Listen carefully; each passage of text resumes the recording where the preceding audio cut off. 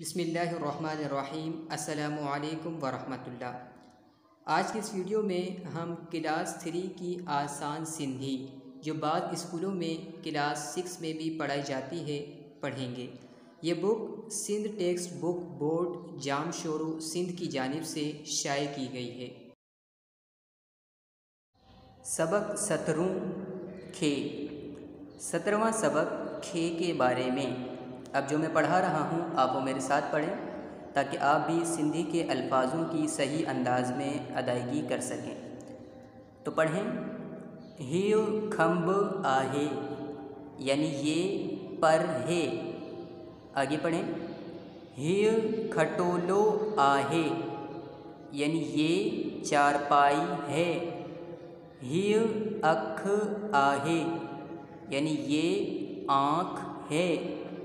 ही मख आहे, यानी ये मक्खी है। इस सबक के नीचे मश्क भी दी गई है तो इस मश्क को भी हम पढ़ लेते हैं। आप भी पढ़िए। पखो यानी पंखा। कूह, यानी कुआँ या फिर खड्डा। आगे पढ़ें। खंड, यानी चीनी। खीर, यानी दूध।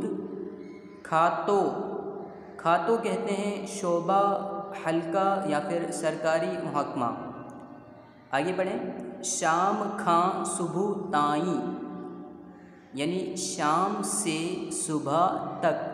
खां का मतलब होता है से, ताई का मतलब होता है तक। तो इसका मतलब हुआ शाम से सुबह तक। आगे पढ़ें हिक खां सो ताई। यानी एक से सौ तक। आगे पढ़ें। अक्षर अक्षर करे पढ़ो। यानी हर्फ हर्फ या फिर लफ्ज़ लफ्ज़ करके पढ़ो। अक्षर अक्षर कहते हैं, हर्फ हर्फ को या फिर लफ्ज़ लफ्ज़ को भी अक्षर अक्षर कहा जाता है। तो आखिरी जुमले का मतलब हुआ अक्षर अक्षर करे पढ़ो, यानी हर्फ हर्फ या फिर लफ्ज़ लफ्ज़ करके पढ़ो। अगर आज के सबक में आपको कोई बात समझ ना आई हो या कोई लफ्ज़ मुश्किल लग रहा हो तो आप कमेंट्स में मुझसे पूछ सकते हैं।